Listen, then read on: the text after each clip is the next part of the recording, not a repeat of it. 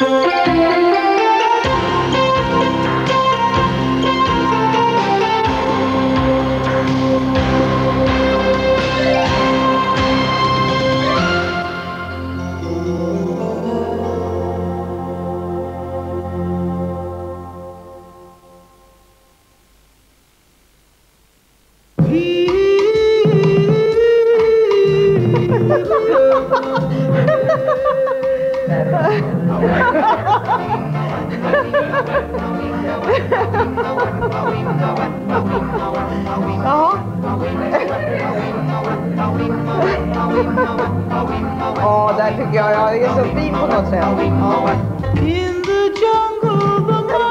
Om låt. Ja.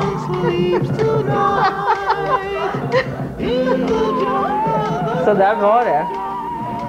Så där Ja. var det. Jag har ändrat frisyr år från år därför att jag tycker det har varit kul. Och har man då sådana här ganska intetsägande ansikte så liksom spelar ju frisyren så stor roll för hur man sen ser ut. Då. Sen var det det att jag slutade röka och gick upp 11 kilo och då klart att ja, då växte jag. Men känner du, igen- är det olika perioder i livet? Du ser, du ser väldigt sträng ut bitvis och sen ser du ljuv ut och oerhört kvinnlig. Men den här med korthåriga varianter blir man ju nästan rädd. Du ser ut som en sån där riktigt kraftfull... eh, Ja. Den där, tycker den där korthåriga varianten, den har jag haft den har jag haft i omgångar och har tyckt nog att det har varit, sett väldigt ljuvt ut ibland. Ljuvt. Ljuvt! Ja, det var lite sjutton. Sen tyckte jag det fanns några där du såg ut ungefär som Ulrike Meinhof. Ja, det, ja, det Mm. stämmer. Du känner igen den perioden. Men jag tänkte fråga dig om insidan också, om din politiska utveckling. Vet du när du blev politiskt medveten? Nej, inte riktigt. Men jag vet ju att jag var politiskt medveten eh, när den här folkomröstningen om ATP var. Eh, 1957 var väl det. Och då, då, hade jag alltså, då var jag politiskt medveten så att jag tog ställning för socialdemokratin i den omröstningen. Men när jag riktigt innan hade blivit det, det, det har jag svårt. föräldrahem? Ja, det var aldrig någon diskussion om politik. Aldrig någonsin? Nej. Vad stod dina Ja. föräldrar politiskt? Ja, det hade jag ju ingen aning om. Eh, Min Ni talade aldrig min, om det? nej, nej. Min pappa dog ju väldigt tidigt, 1955. Eh, nej, vi pratade aldrig om politik. Eh, nu vet ju jag att min mamma är socialdemokrat. Men det visste inte då? Nej, det var liksom inte... Men beror det på dig? Att hon är nej, socialdemokrat? nej, nej. Beror det på henne att du är socialdemokrat? Det är möjligt att det gör, fast vi aldrig pratade politik. Mm. Så är det väl möjligt att det, att det gör det ändå. Men om du, nu, om du ändå ser tillbaka på din politiska utveckling. Nu är du justitieminister och eh, som du sa Simon, senast vi, vi talades vid så hade man bett att bli någon annan minister hade du säkert tagit det också. En vacker dag så är du statsminister. Men har, liksom, har det varit en, en, eh, en eh, karriärväg som du på något sätt har, har tänkt på att eh, det här ska jag göra och vägen är utstakad. Nu klarar jag vad som helst i politiken. Nu är jag så politiskt bevandrad så nu... Nej, men det blir ofta så att om man börjar med en sak så, så liksom är man inne i någon sån här rullians och sen så, så blir det lite eh, grann som ett gift i kroppen på något sätt att man liksom tycker att det är hemskt roligt att vara med. Eh, och det, jag började ju som, jag som då aktiv i studentförbundet 1960. Och sen, och så var jag då med där ju som så väldigt många andra med föreningsverksamhet av olika slag med möten och, och dela ut valsedlar och allting sånt här och, och propagera på, på det sätt som man kunde. Skrev petitioner och uppvaktade statsråd och annat och, och försökte att liksom driva studentförbundets linje. Men på något sätt så stod nästan studentproblemen med upp i halsen. Va? För det var från morgon till kväll var det då alla de bekymmer som man hade som student. Och så kom jag till Järfälla, Kallhäll, som hade lite grann av prägel av sån här gammalt brukssamhälle. Det fanns eh, före detta Bolinders verkstäder. Och sen gick jag med i sosseföreningen och där träffade jag då de som var arbetare eh, och hade upplevt 30-talets problem eh, och som eh, fortfarande så att säga stod och jobbade och slet för ibland kanske ganska dåligt betalt och under väldigt besvärliga arbetsförhållanden.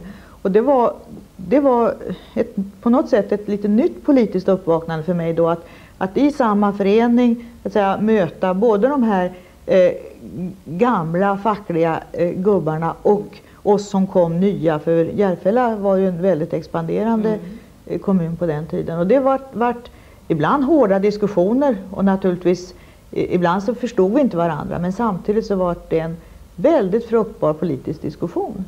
Om Kalle vill bli politiker, vad säger du då? Han har inte kommit hit än, han skulle komma hit. Ja. Ja, det får han bestämma själv. Jag säger att det är hemskt roligt, men han vet ju också vad det innebär utav uppoffringar när det gäller familjesituation och sånt. Har han någon gång tyckt att eh, det är inget Jo, bra det, ja, att det är klart är att, jo, visst, det är klart. Många gånger har han sagt, varför måste du vara med på det där mötet? Det finns väl någon annan än du som kan ta det där? Och vad svarar du då? då? Ja, ofta så säger man, ja det kanske fanns, men nu har jag lovat det och nu finns det liksom ingen som kan rycka in istället. Det är ju det som är situationen. Men tycker du att han har förståelse för att du gör det här jobbet? Ja, I grunden? ja det tror jag att han har. Du, eh, jag tänkte fråga dig om eh, Anna-Greta lyssnade med dig först innan hon blev justitieminister. Nej. Vad skulle du ha sagt om hon frågade? Jag vet inte. Är det någon skillnad Nej. nu och förut? Nej, det är det inte. Är det inte? Det är det inte. Hon är borta lika mycket. Ja. Är hon borta för mycket? Ja. Är hon det? Ja. Vad skulle hon göra hemma då, tycker du? Gå hemma och umgås. Hur tycker du att det verkar vara att vara politiker? Jobbigt. Stressigt. Det är ingenting du skulle kunna tänka dig? Nja, kanske. Antagligen inte.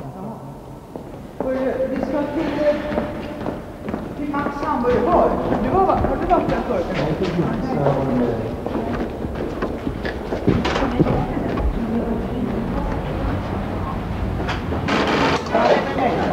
Hej.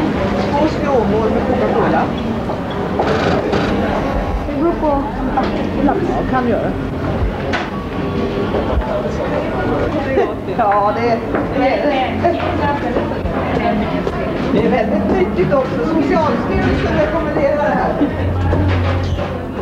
Att du, du står och lejonet sitter. Sådär va. Det är jättebra. Trevligt. Ja. Sen efter vikarien. Vad ska du ha det till då? då? Anna-Greta? Ska, jag, ska jag visa honom några papper? Inte något hemligt. Alltså jag har ju hört att sådana här lejon, de är, egentligen är de väldigt lata. De är det, Det är ja. inte riktigt jag. Det är lite av smekmånad för Anna-Greta Leijon. Fast hon är en mycket erfaren politiker betraktas hon nu som ny och obrukad.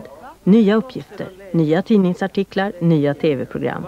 Ett lejon till Ibland är det justitieminister. kul. När man inte är stressad så är det ganska trevligt.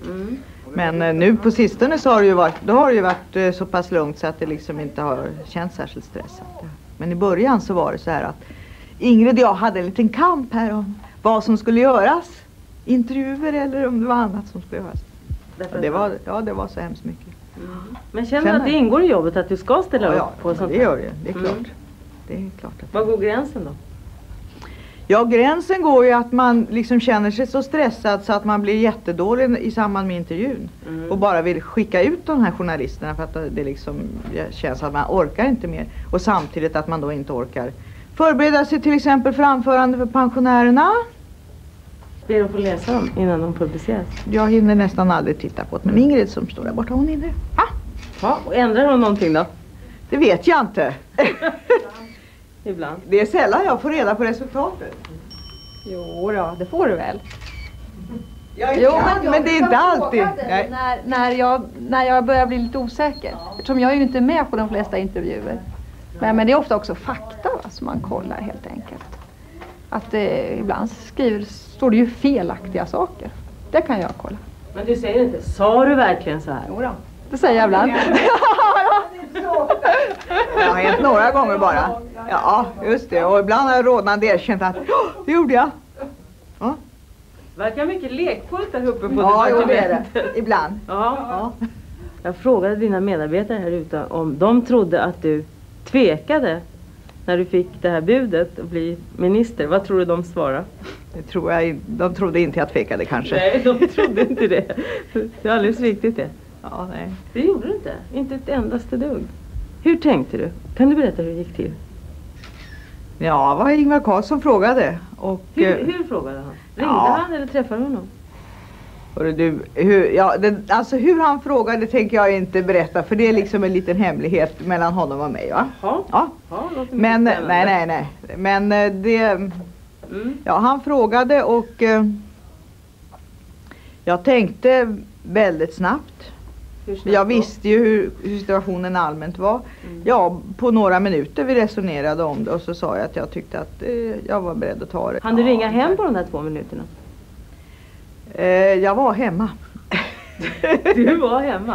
Men dessutom Ja. för familjen så blir ju inte skillnaden så stor. Det, mm, ett, eller ett annat jobb i regeringen påverkar ju inte familjens situation särskilt mycket. Det tror Du jag är har bra. ju gett ett väldigt handlingskraftigt intryck de här första månaderna. Ja, det, ja, det får jag hoppas. Vad folk har till exempel fäst sig mycket vid är ju att hon har tagit upp det här eh, frågan om sexuella övergrepp mot barn. Som ju många är väldigt upprörda över. Och tycker att det är bra att hon har där sagt att det här är någonting vi måste se allvarligt på. Vad är det som gör att man uppfattar henne som så handlingskraftig tror du? Ja, hon är då det. Hon är det? Ja, Du tycker det? ja det tycker jag. En eh, väldigt eh, proffsig politiker. Duktig.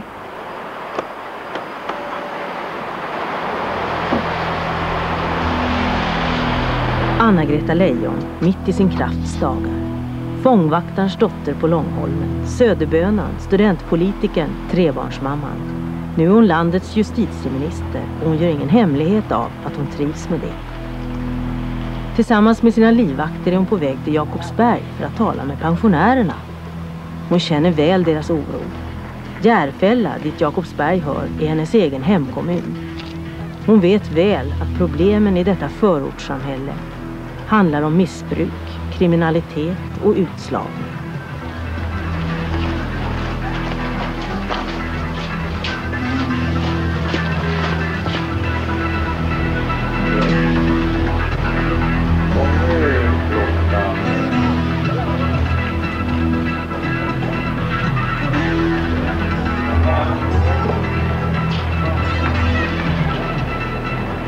Idag kommer Anna-Greta som regeringens utsända och förväntningarna på åtgärder, hårdare tag som det heter, är stora. Polisen kommer att få i sin instruktion ökade möjligheter, eller ökade skyldigheter kan man säga, att eh, bry sig om de som har varit utsatta för brott. Och jag vet att Jakobsbergspolisen bland annat diskuterar hur de ska så att säga kunna orka med att eh, kanske ibland ta kontakt med de som har blivit utsatta för inbrott, höra sig för hur läget är och det kanske inte behöver vara så hemskt lång tid som man behöver ägna åt det här. Men man ska känna att polisen är till också för de som är brottsoffer. Jakobsberg är ett amfetamintillhåll. Har varit det under lång tid. Många av dem som är de notoriska brottslingarna bland ungdomarna kan man säga. Det är de som är missbrukare. Som bryter sig in i bilar eller lägenheter och stjäl för att få pengar till sitt missbruk. Och det är klart att ibland så är det både polis och allmänhets inställning att det tjänar ingenting till att vi gör någonting åt det här därför att de blir släppta igen. Och det där ska vi försöka att jobba vidare med. Tillsammans med att vi då eh, hittar andra former när det gäller att snabbare få, få domstolar och annat att agera när det gäller ungdomar. Att få möjlighet i vissa fall för polisen att eh, säga till ungdomar som man tar som har varit med och vandaliserat att nu får ni, ställa, nu får ni vara med och göra ordning här. Och det behövs ibland. Jag undrar, har du tid att dricka kaffe med oss? Eller? Ja, tack.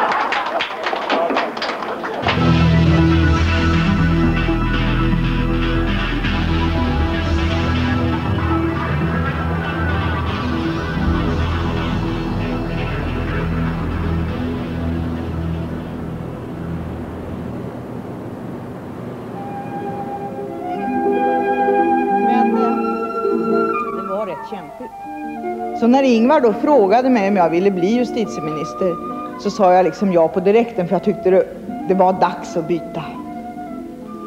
Eh, och då kan man ju fråga sig, var inte det där ganska obetänkt eftersom jag då inte är jurist?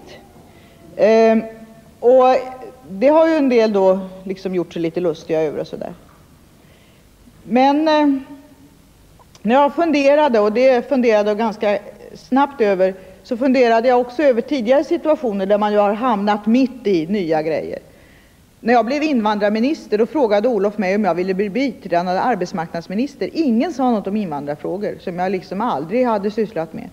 Och det gick ju att lära sig det. Och visserligen har jag blivit några år äldre sedan dess, men jag tänkte det ska tusan också om man inte, fast man är 48 år och kvinna, ska kunna lära sig någonting nytt. Och det tycker jag då, det känns faktiskt sådär att det är liksom sånt som ger en lite grann av en puff också, att, att, eh, att man får chansen att faktiskt lära sig ett nytt område. Egentligen så tycker jag inte om att tv liksom hela tiden sådär direkt zoomar in, men man kommer av sig lite. Om vi tittar på de som begår brott så är det en sån enorm skillnad. Och det här är egentligen en lärobok i könsskillnader på något sätt. Egentligen är det kan man på sätt och vis säga, det är ointressant kanske om det beror på könsrollerna eller på generna. För det är intressant vilket det än är, för att vad det än är så kan man ju så att säga plocka lärdomar ur det. Är det så att den traditionella kvinnorollen faktiskt gav möjligheter att utveckla människor som begick mindre brott, då borde vi så att säga fånga upp mer av den kvinnorollen och försöka att använda den och, och få männen och de moderna kvinnorna att fungera likadant.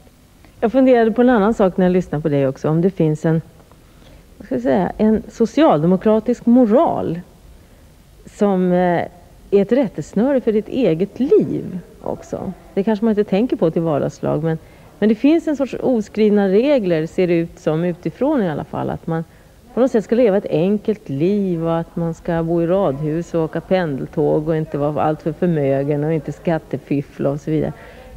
Skulle du, det här är min beskrivning, skulle du kunna beskriva den? Jo, jag tror att det är riktigt att det finns en sån socialdemokratisk moral. Ibland är den moralen alldeles sträng. Och jag tycker att vi många gånger har dömt våra egna lite för hårt och varit för stränga med det här. Men det finns en sån moral och jag känner den själv väldigt hårt. Hur mycket tjänade du förra året? Vet du det? Jag kommer inte ihåg det riktigt. Jag vet att eh, statsrådslönen nu är eh, drygt 31 000. Den har ju blivit höjd ganska rejält. Mm. Eh, och utöver det så har jag inte haft eh, många hundralappar i inkomst.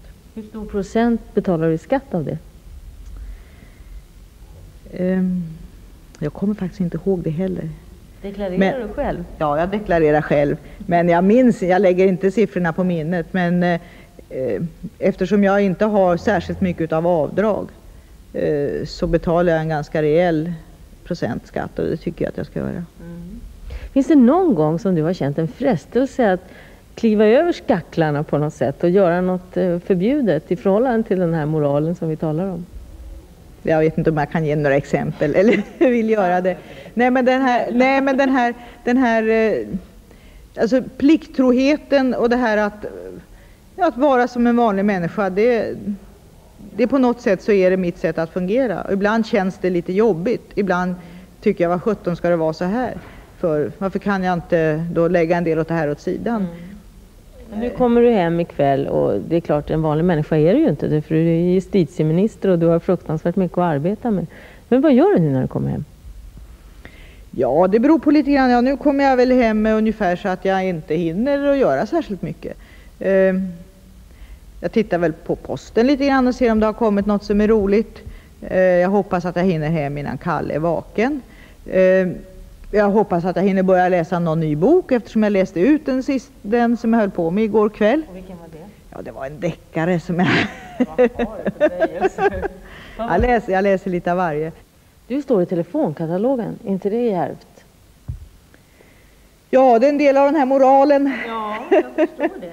Det är det. Dessutom är det lite grann så att jag, jag allmänt, eh, och det tror jag beror lite grann på den här, mitt gamla jobb och eh, den planerade kidnappning som aldrig blev av av mig. Att jag har liksom velat vara öppen, jag har inte velat låsa in mig, jag har inte velat sluta mig eh, för att inte den här säga, eh, rädslan att eh, eh, skulle ta överhanden på något sätt. Att det är klart att det, den upplevelsen av att man kunde ha blivit kidnappad var inte särskilt trevlig och det finns risk i en sån situation att man, eh, att man blir rädd, att man känner sig förföljd, att man vill så att säga låsa in sig i en borg, stänga ute verkligheten. Och då far man ju själv väldigt illa. Ens ungar far väldigt illa och det ville jag liksom förhindra och då, då får man ta till en massa sådana här grejer om att, att eh, också ha eh, som kan ibland vara lite larviga kanske. Att demonstrativt visa att man minsann eh, eh har öppen telefon och allting sånt här. Skulle Anna-Greta Leijon ha klarat det här?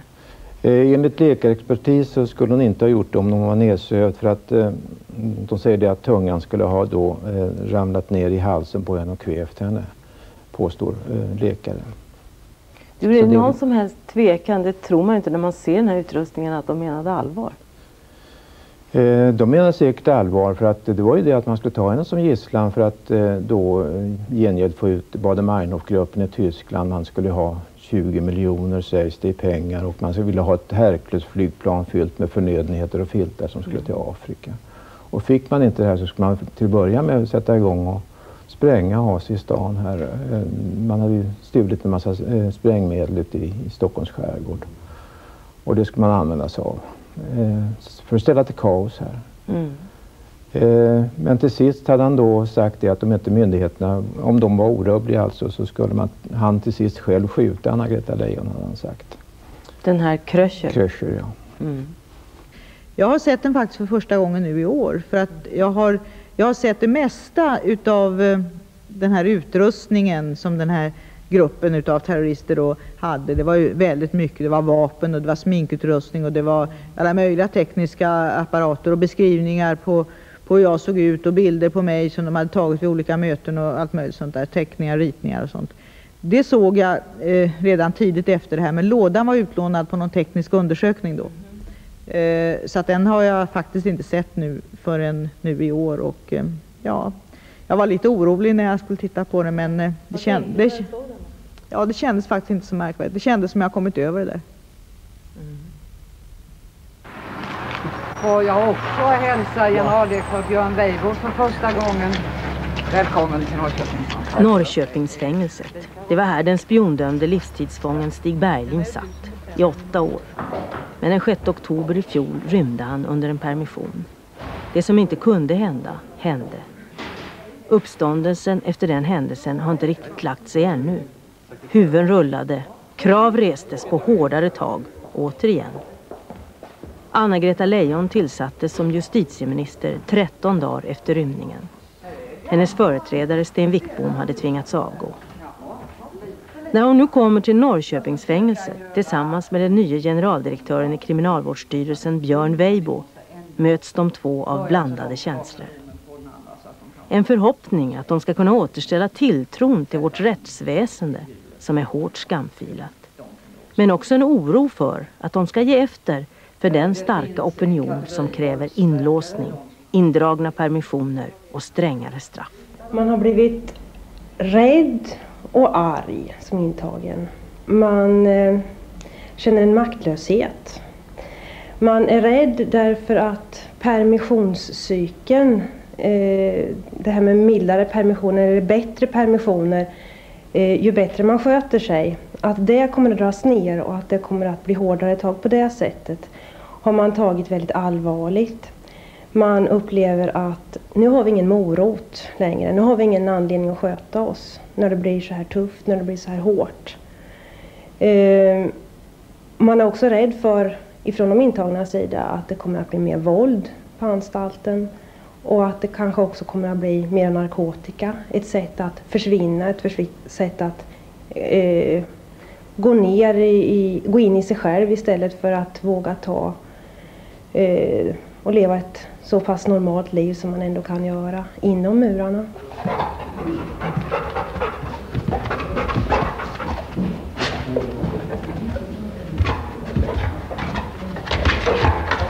Och sen då?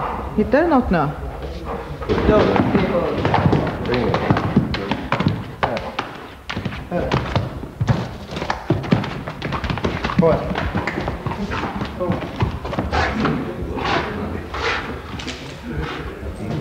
Loss. Loss. Är det så att han är knarkare själv den där hunden egentligen? Nej. Jag har spruta med oss. Så om man får i sig då, då, då får man slå spruta i nacken.